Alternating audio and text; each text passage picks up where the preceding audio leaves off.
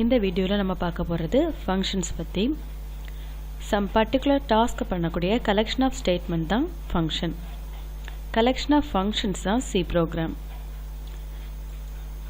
இந்த ஃபங்க்ஷன்ஸ் எதுக்கு யூஸ் பண்ணுறோன்னா சம் இன்ஸ்ட்ரக்ஷனை திரும்ப திரும்ப நம்ம சோர்ஸ் கோட்டில் எழுதுறதுக்கு பதிலாக ஒரு ஃபங்க்ஷன் யூஸ் பண்ணால் இந்த இதை அவாய்ட் பண்ணலாம்.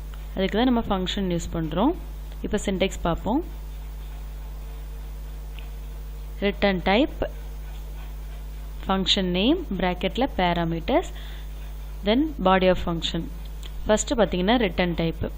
இந்த body of function வந்து எதாவது வேல்யூ ரிட்டர்ன் பண்ணுச்சுன்னா இந்த ரிட்டர்ன் டைப் வந்து இன்டிஜராவோ ஃப்ளோட்டிங்காவோ மென்ஷன் பண்ணிக்கலாம். இல்லாமல் பாடி ஆஃப் ஃபங்க்ஷன் வந்து எந்த வேல்யூவை ரிட்டர்ன் பண்ணலைன்னா இந்த ரிட்டர்ன் டைப் வந்து வாய்ட் அப்படின்னு மென்ஷன் பண்ணணும். நெக்ஸ்ட் பார்த்தீங்கன்னா ஃபங்க்ஷன் நேம் இது நம்ம யூசர் டிஃபைன்டு நெக்ஸ்ட் வந்து பேராமீட்டர்ஸ் இந்த பேராமீட்டர்ஸ் வந்து எவ்வளவு பேராமீட்டர்ஸ்னாலும் நம்ம மென்ஷன் பண்ணிக்கலாம். இப்போ நம்ம ப்ரோக்ராமில் போவோம்.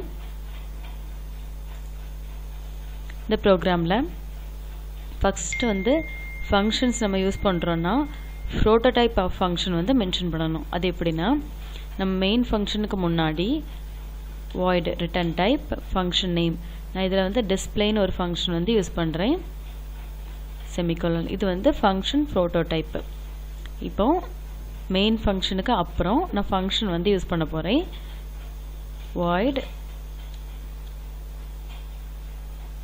டிஸ்பிளே என்டர் இதில் ஜஸ்ட் ஒரு பிரிண்ட் ஆஃப் மெசேஜ் மட்டும் பிரிண்ட் பண்ணுறேன் this is printed by functions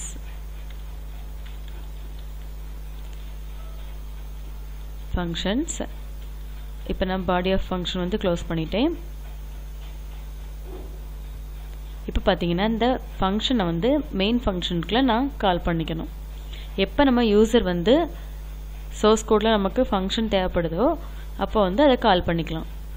இப்போ இதில் டிஸ்பிளே செமிகோலன் இப்போ பார்த்தீங்கன்னா டிஸ்பிளேன்னு ஒரு ஃபங்க்ஷனை மெயின் ஃபங்க்ஷனுக்குள்ளே ஜஸ்ட் ஓவர் டைம் வந்து கால் பண்ணியிருக்கேன் இப்போ ப்ரோக்ராம் சேவ் பண்ணிவிட்டு ரன் பண்ணுங்க. அவுட்புட் பார்த்தீங்கன்னா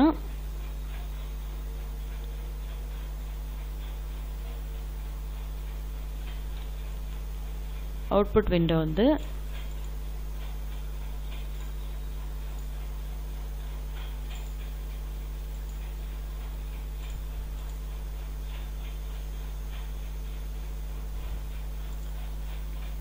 இப்போ ப்ரோக்ராமை ரன் பண்ணுறேன் அவுட்புட் விண்டோவில் பார்த்தீங்கன்னா this is printed by functions இந்த ஃபங்க்ஷன் கால் ஆகி அந்த ஜஸ்ட் மெசேஜ் மட்டும் பிரிண்ட் ஆகிருக்கு இப்போ வந்து நம்ம இதே ஃபங்க்ஷன்ஸை நம்ம மெயின் ஃபங்க்ஷனில் எத்தனை தடவை வேணாலும் கால் பண்ணிக்கலாம்.